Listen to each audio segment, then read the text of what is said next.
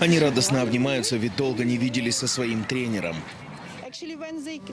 Когда они только вошли в бассейн, и я их увидела, я была уверена, что они станут будущими звездами, потому что они были высокими для своего возраста, худыми, с красивой осанкой и фигурой. Влада и Марина бежали из Харькова, долго жили в Киеве, но затем вернулись в родной город. Сестры, завоевавшие бронзу в командных соревнованиях на Олимпиаде в Токио, являются одними из фавориток следующих игр. Но украинские водники тренируются, в отличие от других участников игр, в постоянном стрессе.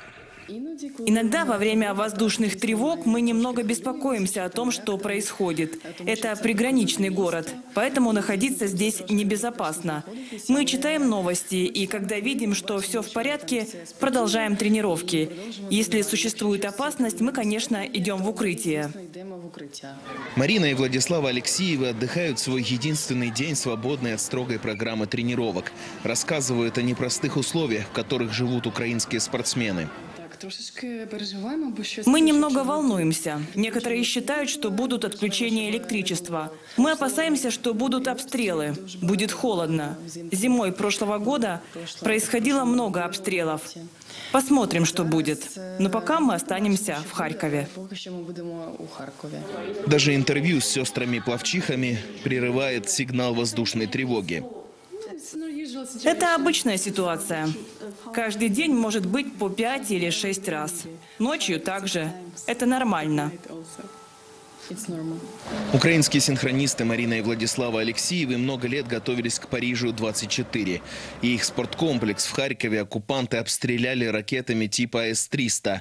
Как и много других спортивных сооружений по всей Украине, бассейн долго приводили в порядок.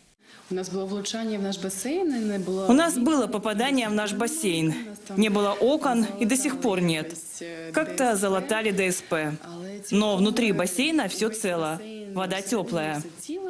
Вода теплая. В данных обстоятельствах сестрам трудно понять, как некоторые спортивные федерации и МОК могут даже гипотетически рассматривать участие в Олимпийских играх стран, поддержавших войну. Наша международная федерация запретила приезжать российским и белорусским спортсменам.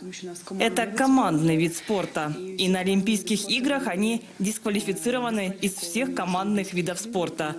Со сборной России мы не встречались с начала войны. И надеемся, что мы их и не увидим.